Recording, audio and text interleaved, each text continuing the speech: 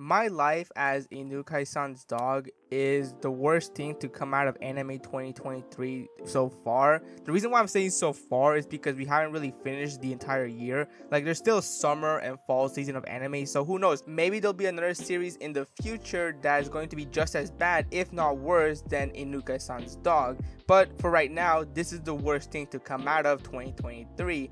And I don't usually say this because I'm perfectly fine with dumpster fire animes. If there's a dumpster fire anime that I have enjoyed quite recently would be Girlfriend Girlfriend because even though that series has a very insane plot and there's a lot of insane moments always happening, there's just something about that series that always makes me laugh and makes me want to see what's going to happen next. However, this series is not that case. Inukai-san's dog mostly just weirded me out and I was kind of confused as to why this even exists. Like why this even got an anime adaptation is another question in and of itself. But with that being said, what is this series all about? What is my life as Inukai-san's dog all about? Well, it's about how one day a boy wakes up to find out that he is now a dog. And to make things even more crazy is the fact that there's now somebody that's going to take care of him from now on. And that is a girl named Inukai who is not only someone that the boy knows because she's not only in the same school as her, but it's also the same girl that the boy has a crush on. And from the outside, it seems like she's just a normal girl. However, that is not the case whenever she is alone because as it turns out, and something that we'll find out very quickly, she really enjoys dogs. Now you may be saying, well, what's the big deal? There's a lot of people who are also huge fans of dogs, but this girl shows us very quickly that she likes dogs a little too much. I'm not going to accuse her of being something terrible, but it becomes very clear that she really likes this dog and she's becoming too attached to it. I mean, there's this scene in which like she is cosplaying for a dog. I don't know what kind of person would ever do that, but she is cosplaying for her dog. And the worst thing is that her mom comes in the room and sees all that happening and she questions it, but the girl gives a very like unconvincing answer, but the mom doesn't even question it any further. I don't know about you, but if that happened at my house, I would not only be weirded out by it, but I would actually be concerned for that person and what they're doing. Not only that, but we also see moments in which Inukai is extremely jealous whenever someone is just being around her dog and trying to like, you know, do things that typically someone would do with a dog, like petting it it and stuff like that. Inukai gets really jealous and she goes like full on yandere mode whenever that happens, which once again, it's more proof that she enjoys her dog a little too much. And once again, there's nothing wrong with being a huge fan of dogs, but what Inukai is doing is not normal behavior. And once again, it's something that should be very concerning because somebody being disattached to their dog isn't normal. And that's not even covering all the very insane scenes that are between Inukai and the dog. Now, obviously, obviously we know that the dog is a human who is in a dog's body but obviously inukai doesn't know that which makes these scenes even more insane. The fact that she's actually doing all this with her dog which i can't even show some of these scenes because I don't want to get in trouble in YouTube, but just know that some of the things that happen in this series are just straight up weird and are things that most likely you would never want to see because they're just really uncomfortable. Like this whole series just has a lot of moments that just once again made me feel uncomfortable and I don't understand why this was even made in the first place.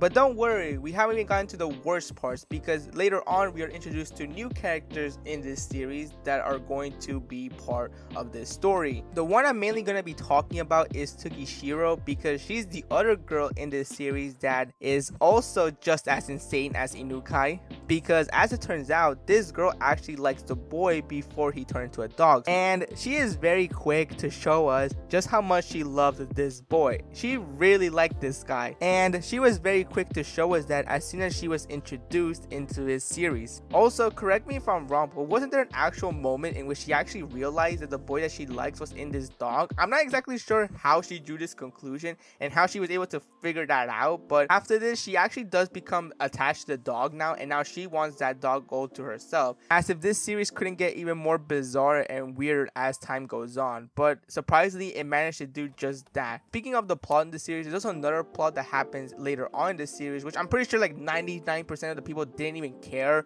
because that's just how unimportant the plot is. I'm pretty sure like 99% of people didn't watch this series because of the plot. They clearly watched it for something else. But towards the middle of the series, we come to find out as to how this boy managed to become a dog. The reason beings because he was approached by a scientist from the school that he was in, in which she convinced him that the chocolate that he gave him was from Inukai. And instead of confirming this to see if this is true, he just actually believes everything she said and just eats it, which of course leads him to become a dog. So if you think about it, all this happened was just because he didn't check to see if this was true and instead just believe a random person that he's never interacted with and ate something that this person just gave him just like that with no questions. But if you thought that this wasn't going to go anywhere, it actually does. During the whole culture festival arc that this series has, it wasn't like towards the end of the series that we get to see the scientist once again. The dog meets the scientist and she tells him that the only way for him to go back into human is to have Inukai kiss him in the mouth because they just had to add more weird stuff towards the end to make us remember that this series isn't your typical show. And this is pretty much Inukai-san's dog, a mess of an anime that I don't even think is supposed to be having anime. I can't even imagine who in the right mind would think that this is a good anime. I really don't understand why this was even created in the first place. Like, did they really think that this was going to like blow people's minds? This is going to get a lot of people talking? Well, I guess in a way they did have people talking about this series, but it wasn't anything positive. It was just mostly negative. People were just saying how extremely crazy this series is and how it just made them feel weird about it and really Everything about this series is just a huge pile of hot garbage. Like, I didn't even talk about the other girl in this series, whose name is Nekotani, because she's not even that interesting of a character. The only aspects about her that are in her character is that she's a tsundere that